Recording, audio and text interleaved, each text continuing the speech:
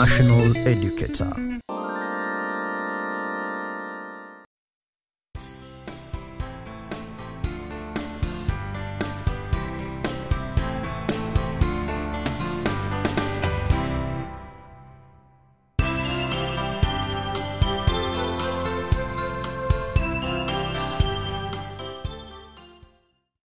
Hello pupil. This is uh, class 5 science. We are going to look at the human body with the subtopic the human breathing system. Welcome. In class 4 we learnt about the human body. We looked at the teeth and we looked at other parts of the human body. And again, we also looked at animals and we said some characteristics of animals. Can you remember some? We said animals die. Can you remember another one? Any other characteristic of animal you can remember?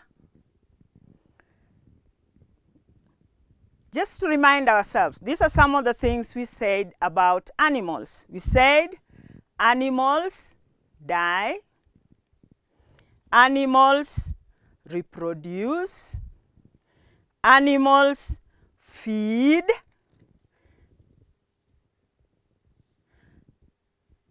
animals move.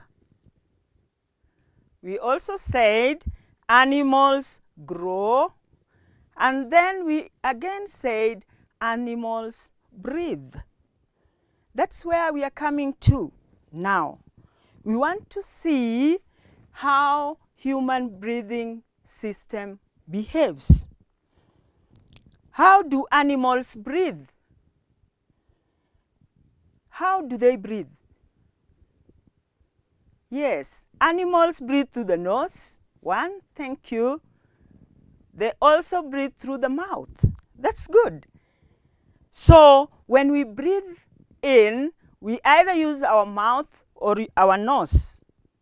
So I'd want us to breathe in and out now. Just put your right hand on your chest. Then breathe in. Hold. Breathe in.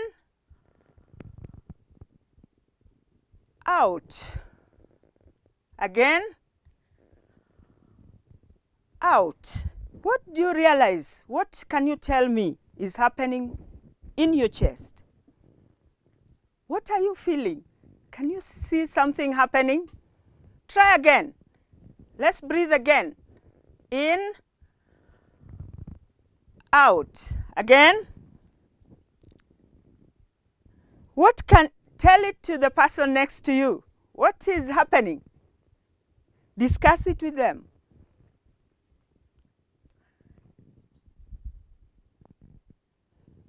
Can you hold that breath for long? No, it's not possible. Let's try as I count the minutes. One, two, three. Oh, you already out. So we realize that it is not possible to hold our breath for long. So we all need air and therefore we have to breathe.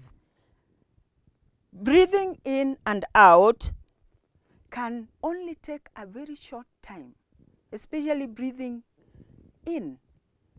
You cannot go without air for, for long. So we have to keep, it's a process that keeps on and on and on, at times without even your knowledge. Like where you are seated. Do you realize you're breathing? So when we're breathing in, we are breathing in air.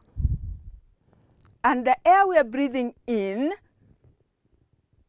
just as we have said, passes through your nose. As it passes through the nose, is taken into your lungs and then the lung will also release it out as you breathe out. So we want to see how the lung gets in air and gets out air.